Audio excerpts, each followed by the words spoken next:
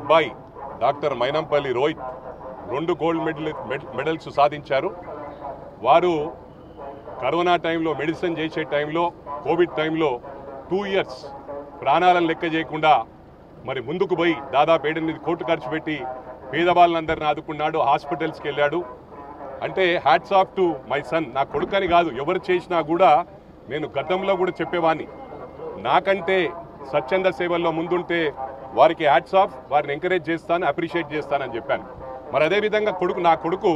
Twenty two ఇయర్స్లో ఆ భయప్రాంతుల అంటే ప్రాణాలను లెక్క చేయకుండా కోవిడ్ టైంలో పనిచేశాడు మరి అతను సొంత కృషితో మెదక్ కాన్స్టిట్యున్సీలో కూడా దాదాపు సిక్స్ మంత్స్ నుంచి ఎన్నో స్వచ్ఛంద సేవా కార్యక్రమాలు చేశాడు without my support it's a fact I swear on God without my support మా అబ్బాయి బ్రహ్మాండంగా చేశాడు he's a major he's independent అతన్ని ఆపే అధికారం లేదు ఓ కుటుంబంలో ఇద్దరు ఉంటారంటే depends upon his capabilities when he's interested in social work and when he's when he's interested in politics I can stop him I can't I don't have any right ఇది democratic country ఇదో ప్రజాస్వామ్యం అంటే ప్రపంచంలోనే అతిపెద్ద ప్రజాస్వామ్య దేశం మన భారతదేశం ఇక్కడ ఎవరి రైట్ వాళ్ళకు ఉంటుంది ఆయన major he's now twenty five అతను ఆపే పరిస్థితి లేదు నాకు ప్రెషర్స్ వస్తూ ఉన్నాయి అతనికి ఇంకా వయసు చాలా ఉంది ఆపేయని నేను అతను అంటున్నాడు నా ఓన్గా నేను పోతా ఉన్నాను కదా పప్ప వైఆర్ వైఆర్ స్టాపింగ్ మీ అని అంటే నాకే సిగ్ అనిపిస్తుంది అందుకు నేను పూర్తిగా as a father I'm going to support him నా పూర్తి కృషి రోహిత్ గారి మీద ఉంటుందని చెప్పి కూడా ఈ సందర్భ సందర్భంగా యాజ్ ఎ పేరెంట్ ఎందుకంటే అతని సర్వీస్లో చాలా ముందంజలో ఉన్నాడు అతన్ని ఎంకరేజ్ చేయకపోతే రేపు నేను నేను తప్పు చేసిన వాడిని అవుతాను కాబట్టి ఎక్కడ కూడా నేను కాంప్రమైజ్ అయ్యే సమస్య లేదు నా కొడుకును ఎమ్మెల్యే మెదక్ ఎమ్మెల్యే చేస్తాను సమస్య లేదని చెప్పి కూడా ఈ సందర్భంగా తెలియజేస్తా ఉన్నాను హరీష్ రావు గారు వచ్చి మెదక్లో పెత్తనం చేస్తూ ఉన్నాడు వీళ్ళంతా ఒక డిక్టేటర్స్ లాగా ప్రవర్తిస్తూ ఉన్నారు మరి హరీష్ రావు గతం గుర్తించుకోవాలి ఒక ట్రంక్ డబ్బాతో రబ్బర్ చెప్పులతో మాస్టర్కి వచ్చిన రోజులు నేను చూశాను నేను చూశాను నేను ఒక హీరోగా యుఎస్ నుంచి రిటర్న్ అయ్యి వస్తే అతను చెప్పులు వేసుకుని ఉన్నాడు నాకన్నా చాలా చిన్నవాడు ఇవాళ ఏదో పెద్ద వారిలాగా ప్రవర్తిస్తే ఇక్కడ ఎవరు కూడా తక్కువ లేరు ఒక మెదక్ కాన్స్టిట్యున్సీని ఒక కీప్ లాగా ప్రవర్తిస్తూ ఉన్నాడు సిద్దిపేట డెవలప్ అయింది మరి మెదక్ ఎందుకు డెవలప్ కాలేదని చెప్పి కూడా ఈ పెద్ద మనిషిని అడుగుతా ఉన్నాను నీ బట్టలు ఇప్పే వరకు నేను వదిలిపెట్టానని చెప్పి కూడా హరీష్ రావు నిన్ను హెచ్చరిస్తా ఉన్నాను ఈసారి మా కొడుకు మీద కాన్సన్ట్రేట్ చేస్తాను నెక్స్ట్ టైం నీ అడ్రస్ లేకుండా సిద్దిపేటలో అవసరమైతే నెక్స్ట్ ఎన్నికల్లో సిద్దిపేటలో పోటీ చేస్తాను బిడ్డ నిన్ను అడ్రస్ లేకుండా చేస్తానని చెప్పి కూడా సభాముఖంగా తెలియజేస్తా ఉన్నాను నిన్ను నిద్రపోయే ప్రసక్తి లేదు నువ్వు ఏ విధంగా డెవలప్ అయినావు ఇవాళ పెద్ద ఎక్కడున్నావో ఏ స్థాయిలో ఉన్నావో లక్ష కోట్లకు వెళ్ళిపోయినావు నువ్వు లక్ష కోట్లు ఎక్కడికి వెళ్ళి వచ్చినాయి ట్రంక్ డబ్బా రబ్బర్ చెప్పులతో వచ్చిన నా కొడుకువు ఎక్కడికి వెళ్ళి వచ్చినాయని చెప్పి కూడా హరీష్ రావును మరి ప్రజా ప్రజల తరఫున నేను క్వశ్చన్ చేస్తూ ఉన్నాను ఈరోజు మెదక్ ప్రజలందరూ కూడా వాళ్ళు కొట్టుకుంటా ఉన్నారు ఇతని పెత్తనం ఏంది మా మెదక్కి అన్ని తీసుకుపోయి ఆఫీసర్స్ అన్ని తీసుకుపోయి సిద్దిపేటకు షిఫ్ట్ చేశాడు మరి మెదక్ కాన్స్టిట్యున్సీ ఆయన కీపా అని చెప్పి అడుగుతా ఉన్నానని చెప్పి కూడా సందర్భంగా తెలియజేస్తా ఉన్నాను బిడ్డ నీ సిద్దిపేటను అదేవిధంగా తయారు చేస్తాను నేను నిన్ను వదిలిపెట్టను సిద్దిపేట ప్రజలు కానీ ఎవరు కానీ మా సోదరులే నిన్ను మాత్రం అడ్రస్ లేకుండా చేస్తాను ఎంతోమంది రాజకీయను రాజకీయంగా మరి అంచివేయడం జరిగింది నువ్వు బిడ్డ నిన్ను నేను అంచేస్తానని చెప్పి కూడా సభాముఖంగా తెలియజేస్తాను థ్యాంక్ యూ నేను పోటీ చేస్తా ఉన్నాను మెదక్లో మా అబ్బాయి పోటీ చేస్తా ఉన్నాడు అవసరం అయితే నేను రాజకీయాలు పక్కన పెట్టన్నా మా అబ్బాయిని తప్పకుండా మెదక్ ఎమ్మెల్యే చేస్తాను మరి ఇక్కడ వెంకటేశ్వర స్వామి ప్రమాణం చేసి తెలియజేస్తాను థ్యాంక్ వెరీ మచ్ పార్టీ ఏం సార్ నేను టీఆర్ఎస్ పార్టీ వాళ్ళని వద్దనుకుంటే ఏం చేస్తాను వాళ్ళు వద్దనుకున్నప్పుడు ఆలోచిస్తాం వాళ్ళు ఇప్పుడు వద్దని లేరు కదా నాకు నాకు ఆల్రెడీ టికెట్ డిక్లేర్ చేశారు వారు నేను చెప్పాను ఇస్తే ఇద్దరికి ఇవ్వండి లేకపోతే ఇద్దరిని మరి ఇద్దరికి ఇద్దరికి ఇవ్వకండి అని చెప్పాను మరి అదే మాట మీద నేను కట్టుబడి ఉంటాను ఇద్దరికి ఇస్తేనే చేస్తాం ఎందుకంటే ఎందరో ఉన్నారు వర్క్ చేసేది చూడండి మీరు ఒక ఫ్యామిలీలో ఇద్దరని కాదు మరి మీ ఫ్యామిలీలో కూడా ఉన్నారు కదా నేను దాన్ని క్వశ్చన్ చేయట్లేదు మీ కేపబిలిటీస్ బట్టి మీరు ఉంటుంది ఈజ్ కేపబుల్ నాకన్నా బెటర్ అంటే బ్రదర్ మీకు తెలుసు నేను చాలా సందర్భాల్లో చెప్పిన మళ్ళీ కూడా చెప్తున్నా రాజకీయాల్లో స్వపక్షమైన విపక్షమైన ఎవరికైనా సంయమనం ఉండాల్సినటువంటి అవసరం ఉన్నది ఎందుకంటే మనల్ని ప్రజలు గమనిస్తూ ఉంటారు మనల్ని లక్షలాది మంది చూస్తూ ఉంటారు మనం మాట్లాడేది కింద స్థాయిలో కూడా మేము ఏది మాట్లాడినా కరెక్ట్ అనుకునే భావన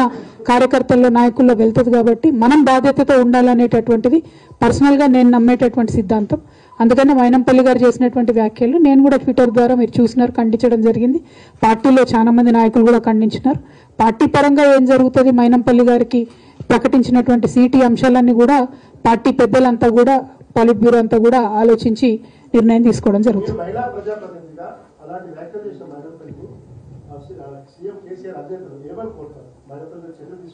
ఇప్పుడు మహిళన పురుషుడు అన్నది కాదు ప్రజా జీవితంలో ఉన్నప్పుడు మర్యాదగా మాట్లాడడం అన్నది కనీస కర్తవ్యం కనీస బాధ్యత దానికి నేను కట్టుబడి ఉన్నాను ఇతర నాయకులు కూడా కట్టుబడి ఉండాలని చెప్పి నేను సంపూర్ణంగా విశ్వసిస్తున్నాను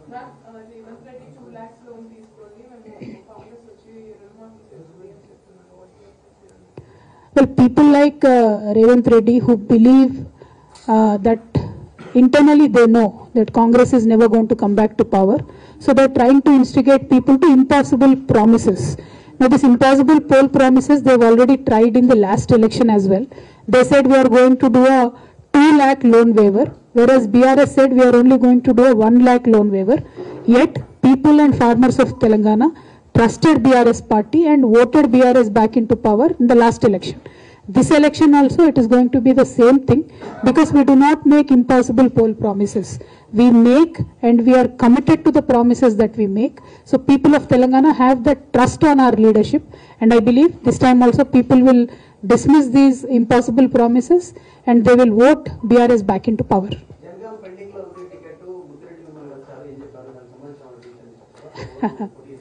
సెట్టింగ్ కొత్త ఇచ్చారు ఆ కొత్త వాళ్ళకి ఇచ్చినప్పుడు ఆ సెట్టింగ్ కానీ ఆశించిన వాళ్ళు కానీ చెప్పేసి అన్నారు వాళ్ళు కూడా కలిసారు అన్ని చోట్ల కూడా కేసీఆర్ గారు గౌరవ పెద్దలు ఎప్పుడైనా గెలిచినటువంటి ప్రజాప్రతి ప్రతినిధులైనా ఓడిపోయినటువంటి నాయకులైనా అందరినీ కూడా మనసులో పెట్టుకొని వీలైనన్ని అవకాశాలు చైర్మన్ కావచ్చు జెడ్పీ చైర్మన్ కావచ్చు ఎక్కడ వీలైన వాళ్ళకి అక్కడ అకామిడేట్ చేస్తూ రావడం జరిగింది సో కేసీఆర్ గారు ఒకసారి మాట ఇచ్చారంటే ఖచ్చితంగా చేస్తారు అనేటటువంటి విశ్వాసం మా నాయకులందరిలో ఉంది కాబట్టి చివ పోయినసారి మీరు చూసుంటారు స్టేషన్ గన్పూర్లో కడియం శ్రీహరి గారి బదులు రాజయ్య గారికి ఇస్తే ఆనాడు కడియం శ్రీహరి గారు దగ్గరుండి రాజయ్య గారిని గెలిపించుకొని రావడం జరిగింది తర్వాత కడియం శ్రీహరి గారికి పార్టీ కూడా ఎమ్మెల్సీ ఇచ్చి గౌరవించుకోవడం జరిగింది సో ఆ యొక్క పద్ధతిని మా ముఖ్యమంత్రి గారు పాటించడం దాన్ని మా నాయకత్వం అంతా కూడా యాక్సెప్ట్ చేయడం అన్నది మీరు చూడడం జరిగింది సో ఈసారి కూడా అలాగే ఉంటుంది ఆశించినటువంటి వాళ్ళు కూడా చాలామంది ఉంటారు కానీ ఎవరైతే గెలిచే అవకాశం ఉంటుందో పార్టీ వాళ్ళనే సూచిస్తూ వాళ్ళనే ఎన్నుకుంటుంది కాబట్టి మరి అట్లా ఎన్నిక చేయడం జరిగింది కాబట్టి మిగతా అందరిని కూడా డెఫినెట్గా పార్టీలో మంచి పొజిషన్లో చూసుకుంటాం దానికి మేమందరం కూడా బాధ్యత వహించి అందరినీ దగ్గరగా నడిపించుకుంటాం ఎస్టీ కాదు ఎస్టీ అని చెప్పేసి complaint questions have been arising from opposition parties regarding KCR's decision to stand from, uh, you know, Gajwal as well as from Kamareddy. Several are saying that there is fear in his voice and his eyes. by What do you have to say on these comments that are coming? Khanapur అసెంబ్లీకి సంబంధించి ఉన్న అలిగేషన్స్ని పటాపంచలు చేస్తూ అభ్యర్థి గారు తన యొక్క సర్టిఫికెట్ను కూడా పబ్లిక్లో చెప్పడం జరిగింది పబ్లిక్ డాక్యుమెంట్ అది ఎవరైనా యాక్సెస్ చేసుకోవచ్చు ఎవరైనా చూసుకోవచ్చు యాజ్ ఎ పార్టీ మేము మేము కూడా దాన్ని చూసి చెక్ చేసుకున్నాం కాబట్టి ఇబ్బంది ఏమి లేదు అక్కడ సెకండ్ది కేసీఆర్కి భయం అన్నటువంటిది చాలా హాస్యాస్పదంగా ఉన్నది అసలు వింటుంటే మీరే విలేకరులే నవ్వుతా ఉన్నారు అందరూ